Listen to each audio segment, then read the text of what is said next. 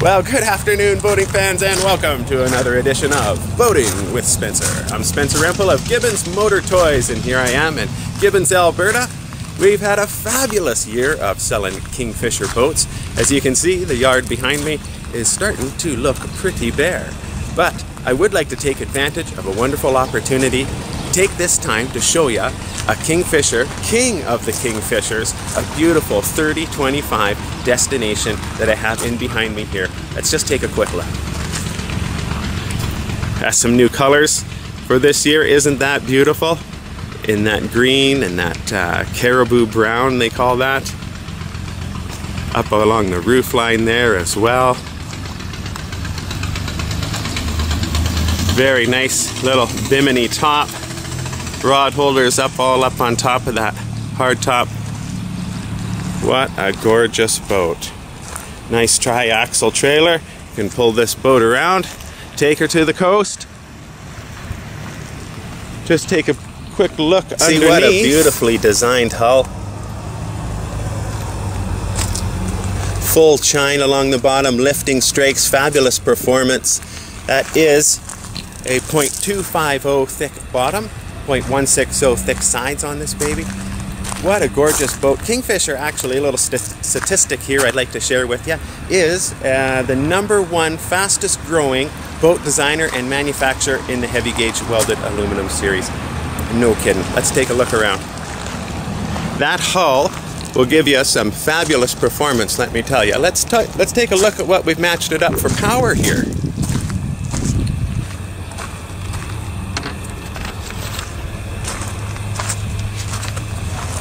There we are. Some Mercury 200 Verados on there. And of course a nice 15 Pro kicker for when you're just dawdling along, doing some trolling and reeling in the salmon. This beautiful boat's 30 foot 5 inches long, a full 8.5 inch beam, nice deep 42 inch sides. That hull we're talking about that I'm so proud about is 18 degree variable with the 400 horsepower here. It has a fabulous performance. We're looking at uh, at 4,000 RPM. She goes at about, uh, what was it, about 24 mile an hour. Burn about 25 liters an hour per engine at that, so about 50, 50 liters per hour at 24 mile an hour. That's pretty darn good. 606 liter tank in there, so you're going to get some really good range out of that. I think that's going to give you heck, about 250 nautical miles, 288, 290 miles out of that. That's some really good range.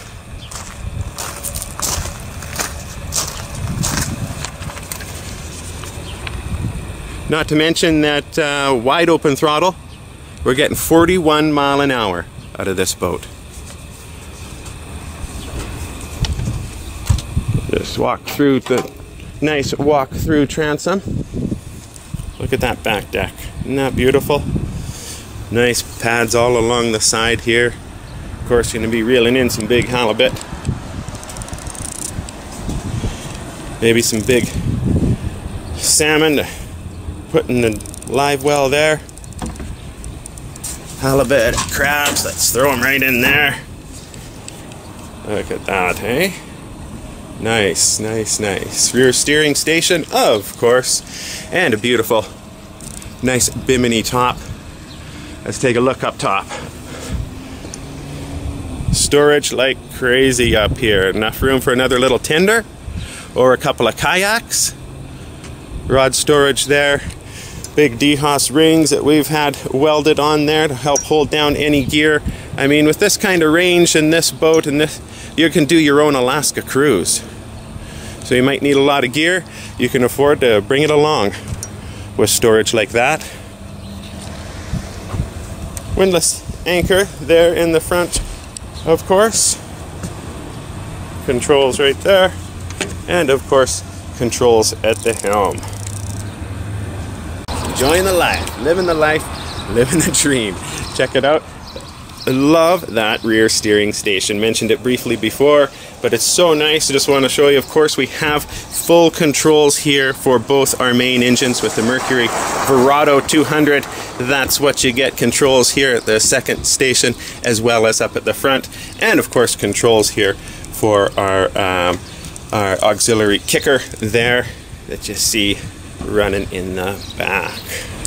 As well as in the back here, we've mounted some really nice heavy duty stainless steel railing and nice side deep side gunnels here for uh, mounting any uh, accessories that you want rod holders and uh, barbecues all different mounts of course downriggers pot pullers anything you need. Nice work lights here. In the back you'll see mounted one on each side and uh, we got a lot of nice height here as I'm six foot two and uh, can relax back here in the back. No problem. Let's take a look inside. Heavy duty door. This back deck steps this steps down into the main cabin because of course this entire rear deck is uh, self bailing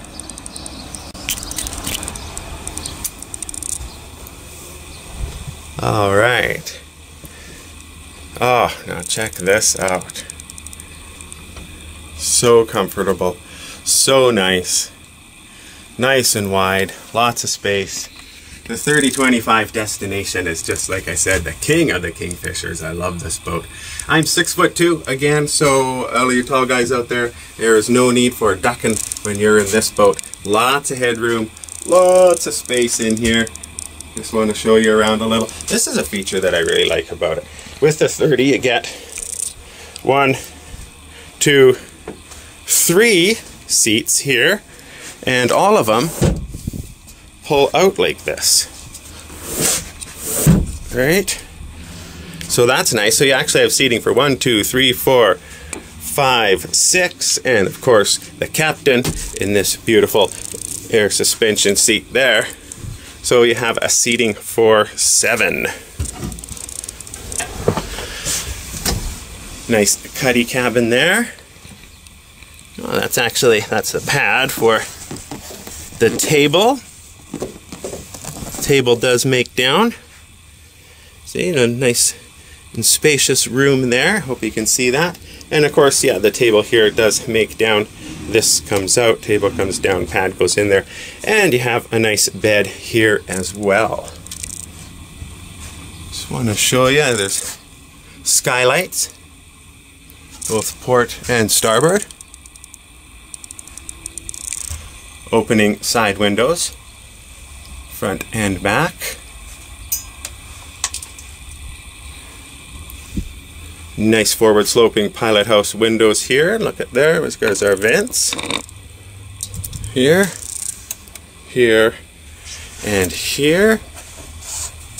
And keep those windows defrosted. Keep everybody warm and toasty another one down there. Of course, to keep you warm in that cuddy cabin. Those vents running off of this Espar diesel heater system. That's all you see of it. It's a little thermostatic control here, on and off, and uh, set your temperature. That's it. It is a uh, heats water as well, so as you go into the full stand-up head, that you see here. There is the toilet that's a overboard macerator as well as a holding tank. And uh, your shower there, 40 gallon freshwater tank in this boat here too. Over here we see nice alcohol stove, little sink, fridge, and just a real compliment to their craftsmanship. Beautiful drawers.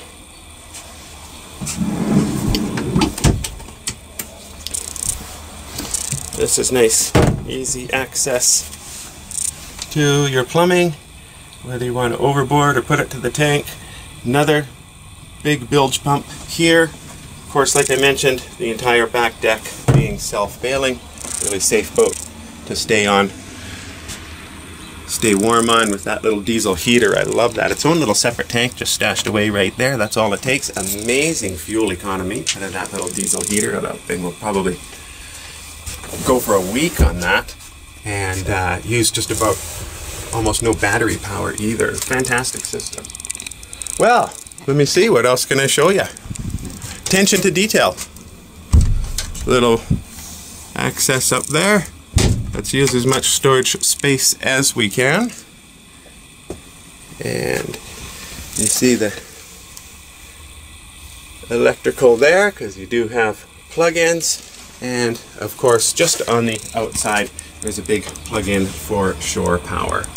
Well, that did just give you a little overview of this gorgeous boat. Of course, uh, you want to see more, come on in and see me at Gibbons Motor Toys. Love to show you more of this boat. And uh, or any Kingfisher boat. Come on down and see us.